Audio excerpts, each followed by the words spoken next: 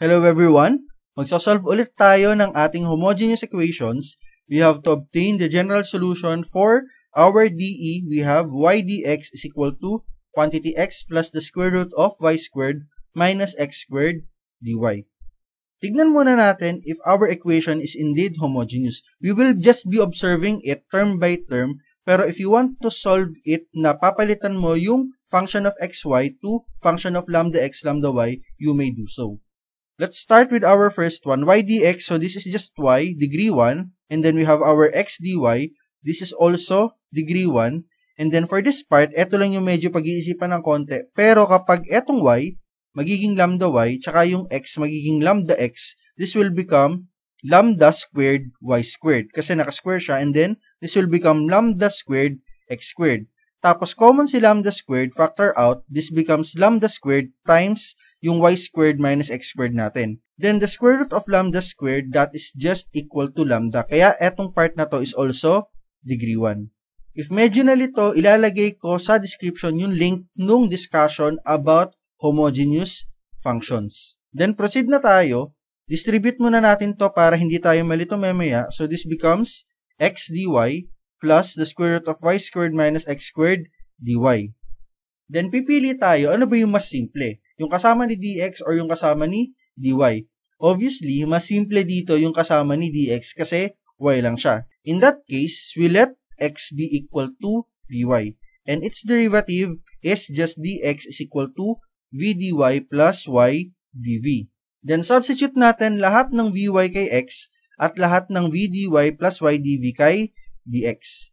For this part, we have our dx here. So, this becomes y times etong part na to, sinubstitute natin kay dx is equal to, for this part naman, sa ating right side ng ating equation, ang x natin will become vy, and then plus, dito sa loob, ito yung x natin, this becomes vy, and then squared. Simplification, so y times v dy, this is equal to vy dy, then y times y, this becomes y squared dv. For this part, vy times dy lang naman, diretso siya. And then eto, yung square will be distributed both kay v tsaka kay y. So this becomes v squared y squared. Kung mapansin nyo, we have our vy dy sa ating left side tsaka sa right side. Pag eto nilipat ko, this will become negative. So etong part na to will become 0. Matitira si y squared dv. And then dito naman, common si y squared. So finactor out ko siya. y squared, ang natira is 1 minus v squared. Then dahil multiplication ng operation, nasa loob sila ng radical, I can separate them na in this form. So this is square root of y squared times the square root of 1 minus v squared.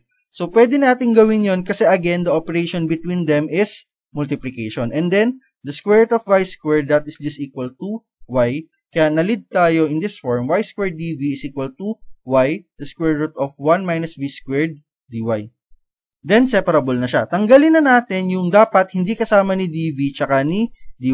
In this case, kailangan kong tanggalin si y squared kasi dapat ito ay function of v. Ito naman, ang kailangan kong tanggalin ay yung buong square root of 1 minus v squared.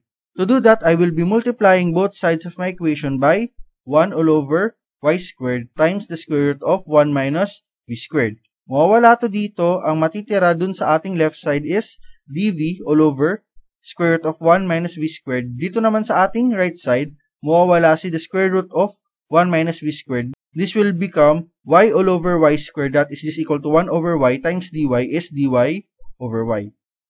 This is already a function of v dv, function of y dy. So, I can get its solution by taking the integral nung both sides ng ating equation.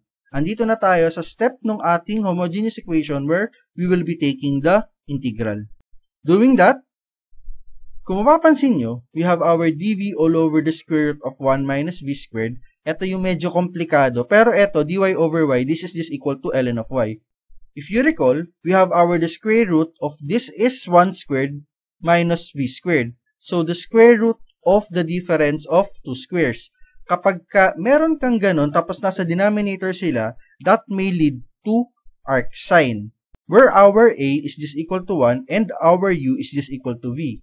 Doing the integral, this will become arc sine u natin again is v all over a, ang a natin is 1. So, arc sine of v all over 1, that is just equal to arc sine of v is equal to, etong part na to, this is just ln of y plus c. Integration leading to inverse trigonometric functions.